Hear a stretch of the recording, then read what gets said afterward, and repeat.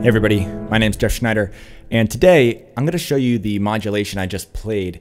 It's, uh, it's a key change that goes from C major to A major. Now, A major is not related to the C major at all, but we're using what's called modal mixture.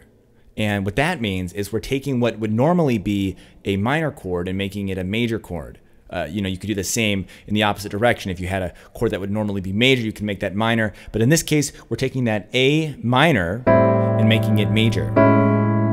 So you see, we're starting in C major, and then we're doing this 2-5-1 to what would normally be an A minor chord, because A minor is the relative minor of C major.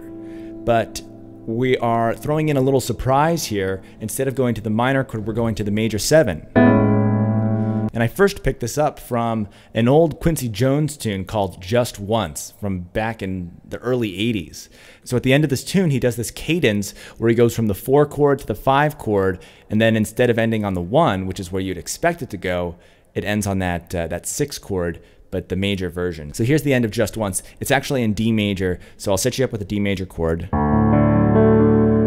And as I said, it's starting on the 4.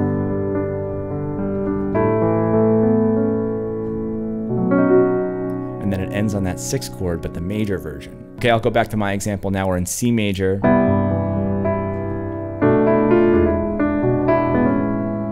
And we did a 2-5-1 going to A major instead of A minor. And that 2-5-1 is the B minor 7 flat 5, E7 flat 9, and then there's the A major 7. And you know, the, the minor 7 flat 5 chord, that, that, that one right here, the B minor 7 flat 5, that really sets you up for a minor chord because uh, in a minor 2-5-1, usually you have that minor 7 flat 5 chord as the 2. So you have that minor 7 flat 5. You know, we're, we're expecting that minor chord, right? But no, we go to A major. It's a really nice surprise. If you want to add even more color to this, you can even add this little gospel thing at the end. Check this out. So we're going... It's that, that nice thing moving in sixths. The G sharp in the left hand with an F in the right, then you have the B and the G sharp, and then the A and the F sharp. So now it's almost like we're ending on an F sharp minor in first inversion. But uh, one other ending you can do is after the A major, take it back into C major by going to a D minor 7 chord.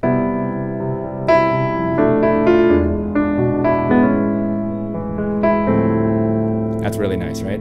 So I'll leave it at that mess around with this chord progression, guys. You can include it in your own songs. You know, learning chord progressions and getting good at harmony is all about stealing other people's songs. You know, I said I lifted this from that Quincy Jones tune, but you know, this chord progression is used all over the place. You even ha- you even have something like this in uh, you know the old classical days with the Picardy third is, is kind of similar to this with that modal mixture. And um, if you guys like Brian McKnight, he uses this all the time, especially at the end of tunes. So listen for it and practice it and let me know how it goes. If you have questions, feel free to leave them down below. And guys, I'll see you in the next video. Thanks for watching.